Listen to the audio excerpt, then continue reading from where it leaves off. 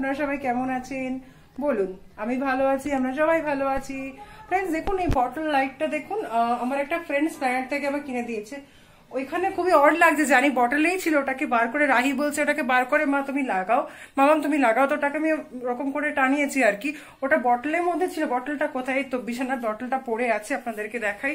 দেখুন, এই প্লাস্টিকের বটলটার মধ্যে বটল লাইটটা ছিল। ওটাকে আমি রাখব। হুম, আর এখন বাজে আড়াইটে, স্কুল টুল করে এলাম, সকাল থেকে একদম কথা বলার টাইম পাইনি সো এখন ভাবছি আপনাদের সাথে একটু কথা বলি। তো রাহি এখনও খায়নি, আমাদের কারোর খাওয়া হয়নি। কেন কি একটা হনুমান এসছে ইয়েস আপনাদের হনুমানটাকে দেখায় হনুমানটা আবার আমাদের ছাদের যে, তিনটা ছাদের ওপরে, যে তিনটা ছাদের ওপরে যে নার্সারিটা আছে, একদিন দেখেছিল ওটাতেই বসে আছে। বাবা, ওখানে কাছে তো হেবি ভয় লাগছে, মাম্মি আবার আলু ঠালু দিল। আলু দিয়েছ না? আলু, কলা সব দিয়েছে। আমার তো হেভি ভয় লাগছে, আমি যেতে পারব না। কিন্তু আপনাদের দূর থেকে ওটাকে দেখাবো, নিশ্চয়ই। চলুন নিচে আমার সাথে। হনুমান দেখতে বাইরে এলাম, কিন্তু হনুমান দেখতে পাচ্ছি না। ছাদের ওপরে ছিল, কিন্তু এখন দেখলাম গায়েব হয়ে গেছে। আবার কুটুস মহারানীও গেছে। কুটুসকে ঠাপড় ঠাপড় না মেরে দেয়, এটাই ভয় লাগছে। চলে আয়, ঠিক আছে? এখন রাহিয়া কোনো ভাত খায়নি। খাবে বাবা, ওপর দিকে বাবা করে তাকাচ্ছে আর মাথার উপর না পড়ে। বাইরে বেরোলাম, কিন্তু দেখতে পেলাম না। যখন আমি মিষ্টি আনতে যাচ্ছিলাম, দোকানে গেলাম, তখন আমি দেখলাম হনুমানটা বসে আছে। ঠিক এখন এলাম ভিডিও করতে, কিন্তু এখনই দেখতে পেলাম না। কিন্তু মাম্মি আবার দেখতে পেয়েছে।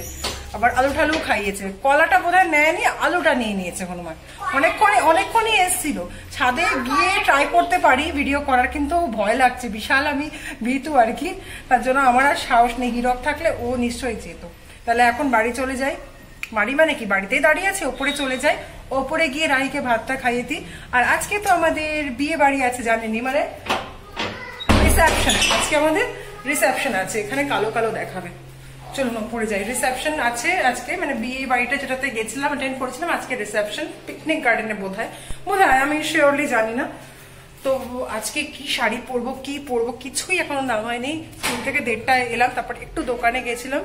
তারপরে এখন রাহি খাবে, অনেক দেরি হয়ে গেছে, তারপরে আমরা খাব। তো কি মানে পরবো, আমি ডিসাইড করেছি, মনে মনে আছে, আপনাদেরকে দেখাবো।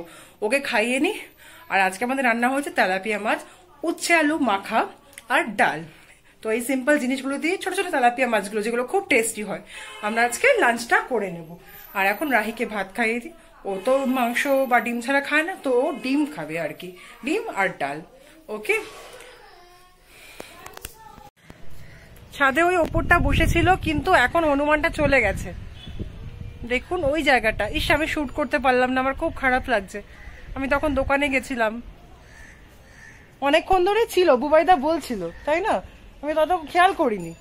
তখন দেখি এখানে চলে এসছে আমাদের ছাদেই চলে এসছে। হ্যাঁ গেল হুম ঠিক আছে। ছাদ ভর্তি জামা কাপড় মেলা। এগুলো কালকেরও জামা কাপড় আছে কেন কি কালকে ওয়েদারটা খুবই খারাপ ছিল, তার জন্য অনেক জামা কাপড় শোকায়নি।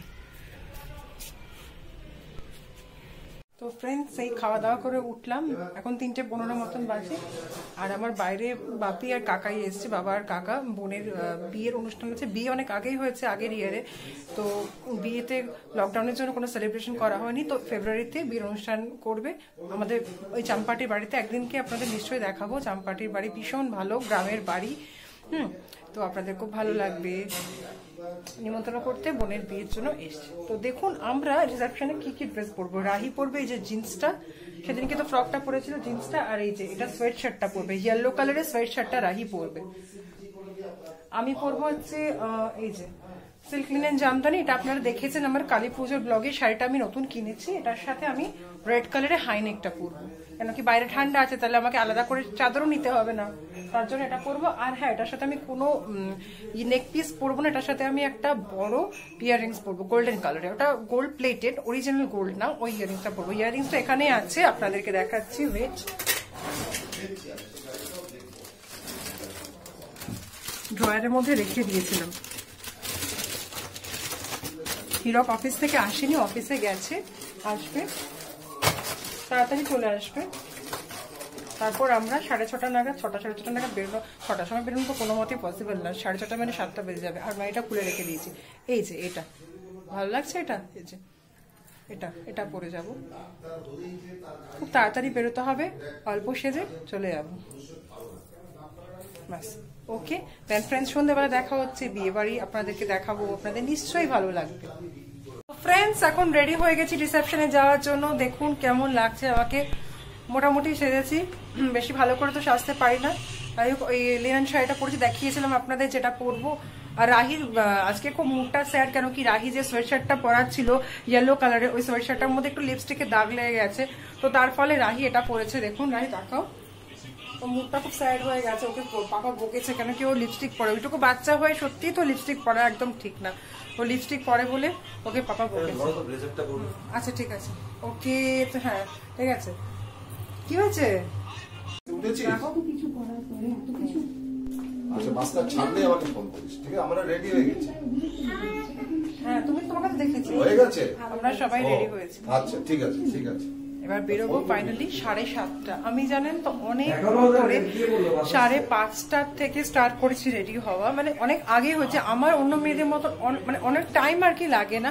লোকেরা বলে যে মেয়েদের রেডি হতে নাকি খুব টাইম লাগে এটা মিসকনসেপশন অতটা টাইম লাগেনি। আমি আধ ঘণ্টার মধ্যে রেডি হয়ে গেছি অনেকক্ষণ ধরে চা ফা খেলাম এ করলাম অনেকক্ষণ ধরে বসেছিলাম তারপরে শাড়ি একবার উল্টো পরে নিয়েছিলাম শাড়ি আবার চেঞ্জ করে আবার পরলাম। এই শাড়িটা সেম শাড়িটাই আর কি। আঁচলটা ঠিক করলাম আঁচলটা খুব বাজেভাবে হয়ে গেছিল। হাইনেকের উপর ফার্স্ট ট্রাই করলাম। দেখেছি সবাইকে যে হাইনেকের উপর শাড়ি পরতে। আমি আজ ফার্স্ট পরলাম, জানি না কীরকম লাগছে। তো যাওয়া যাক, আপনাদেরকে দেখাবো যে রিসেপশনটা কীরকম হচ্ছে রিসেপশন সেরেমনিটা হুম, কোথায় হচ্ছে, আপনাদেরকে বলেছিলাম I think picnic garden okay তো আমরা এখন বেরোচ্ছি সাড়ে সাতটার সময়। আমরা এখানে বাস স্টপে দাঁড়িয়ে ওয়েট করছি বাসের জন্য। যে বাস কখন আসবে, আমরা যাব। আমরা প্রায় আধ ঘণ্টা ধরে দাঁড়িয়ে আছি, কিন্তু এখনও বাস আসার কোনো নাম তো ওয়েট করি, দেখুন রাস্তার অবস্থা।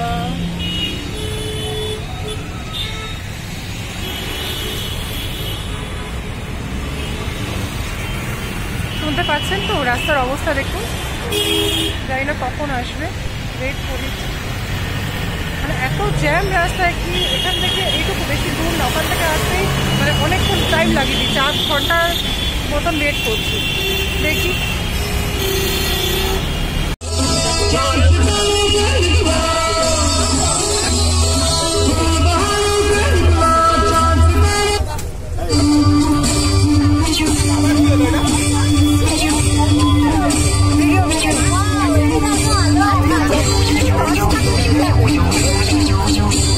সাড়ে নটা বেজে গেছে সাড়ে নটার সময় তত্ত্ব নিয়ে আমরা সব যাচ্ছি। আর হ্যাঁ। মামি ঠামিরা সবাই আছে, মেজো মামি সবাই আছে। তো সবাইকে দেখাতে পারলাম না কেন কি ক্যামেরা তো আমি ধরি হিরক কোনোদিন আমার ক্যামেরা ধরে না, আমার জামাইবুর মতন। আপনারা জানেনই, ঠিক আছে? দেখুন, ওকে? বিয়ে বাড়ি গিয়ে আপনাদেরকে দেখাচ্ছি, ওকে? কাছে বিয়ে বাড়ি খুব মজা হচ্ছে ভীষণ মজা হয়েছে বাসের মধ্যে। রাহি ওর পিসির সবার সাথে অনেক বাদে দেখা হয়েছে, খুবই ভালো লাগছে। চলুন।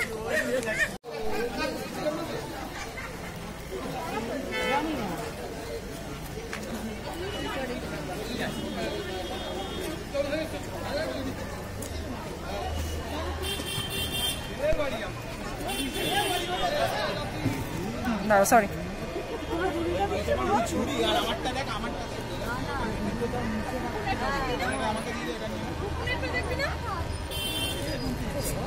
ভালো লাগে না এত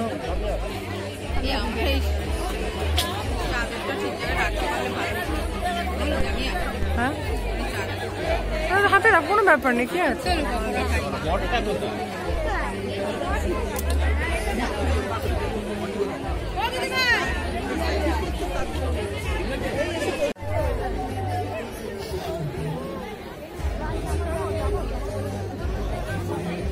এখন আপনাদেরকে খুব সুন্দর লাগছে ওকে ব্লু কালারের পরে ওর সাথে ফটো ফটো তোলা হলো।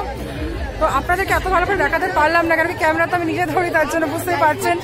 না লাইভ না ইউটিউবে ঠিক আছে? তো এখন কিছু স্ন্যাক্স খাব। কত? বাজে রে বৃষ্টি, দশটা পাঁচটা বেজে গেছে হ্যাঁ। দশটা বেজে গেছে, অনেক দেরি হয়ে গেছে। আজকে কিছু স্ন্যাক্স খাব দেন আমরা ডিনার করব। ওকে চলো।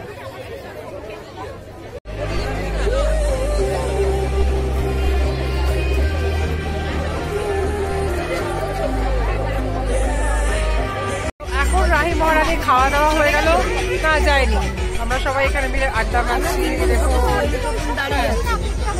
আইসক্রিম খাচ্ছি আইসক্রিম খাচ্ছে। হয়ে গেছে ওর খাওয়া। ও বেরিয়ে যাবে আগে, তারপরে আমরা যাব বাসের সাথে। লিপস্টিক উঠে গেছে, আবার ওর খাবারটা খেতে গেছে। ওর চিকেনটা খেলাম লিপস্টিকটা উঠে গেল। এখানে একটা ওপেন মাঠের মধ্যে করেছে আর কি, খুব ভালো লাগছে। আর আমাদের যে ফাংশনটা ছিল, ওটা একটা লজে ছিল। আমার মনে হয় এটা কম্পারেটিভলি বেটার লাগছে। বাড়ি যেতে আজকে ডেফিনেটলি দুটো বাজবে। কালকে স্কুল আছে। দেখতে থাকুন, আমার সঙ্গে থাকুন, আপনাদের ভালো লাগবে। এখন বাস থেকে নেমে গেলাম, রাস্তা দিয়ে হাঁটছি, রাত একটা বাজে ইয়েস রাত একটা বাজে। এখন গিয়ে অ্যাজ ইউজুয়াল এই মেকআপগুলো এই পেন্সগুলো তুলবো মুখের থেকে। বুঝতেই পাচ্ছেন আর চুলটা ছেড়ে নিয়েছি, কেন কি কোপা করে খুব ব্যথা করছিল। তো তার জন্য কাটাগুলো সব খুলে নিয়েছি বাসে। সবাই ভীষণ হই হুল্লোড় করল, নাচতে নাচতে এলো। আমি তো একদমই ডান্স করি না ডান্স পারি না। আমি বসেছিলাম, হাতে তালি দিচ্ছিলাম আর কি। ওকে দেন ফ্রেন্ডসটা ফ্রেন্ডস ফ্রেন্ডসটা বলছি ফ্রেন্ডস এই ব্লগটা এখানে এন্ড করলাম। আপনাদের কেমন লেগেছে? প্লিজ আমাকে জানাবেন। আর হ্যাঁ সাবস্ক্রাইব করতে ভুলবেন না। Bye good night